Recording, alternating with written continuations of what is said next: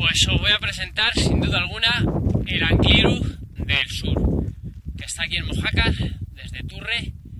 He subido, Turre está prácticamente a nivel del mar y estoy a 963 metros.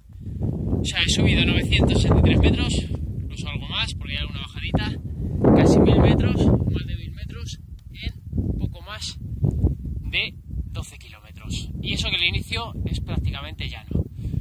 Tiene rampas del 18 del 20% en la parte central, 500 metros al 20% durísimos, pero lo más duro no está ahí, lo más duro está justo al final, en esta última rampa que lleva hasta esta antena, que tiene 600 metros al 27-28%.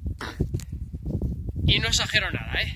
Ahora lo podréis ver en, en mi Strava cuando subo la actividad, tiene, te digo, 400, 500 metros que va al 28-29% que se hacen durísimos. O sea que si me está escuchando Guillén, bueno, mejor que no me escuche porque esta subida puede ser de las que hacen historia en la Vuelta a España. Es una subida muy dura, la carretera no está, no está nada mal, se puede subir sin problema, tiene bajada por, por la otra cara, es una carretera estrechita, pero bueno, está bien asfaltada.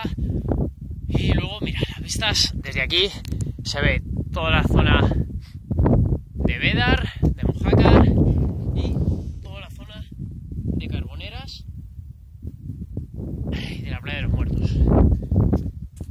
Y con la tontería, con la etapa de hoy van a salir un poco más de 110 kilómetros y me voy a ir a más de 2.500 metros de desnivel. Y todo sin salir del entorno de, de Mojácar y siendo 11 de enero con 14-15 grados de temperatura. O sea que se puede hacer aquí montaña no, alta montaña. Mira, ya veis lo duro que es.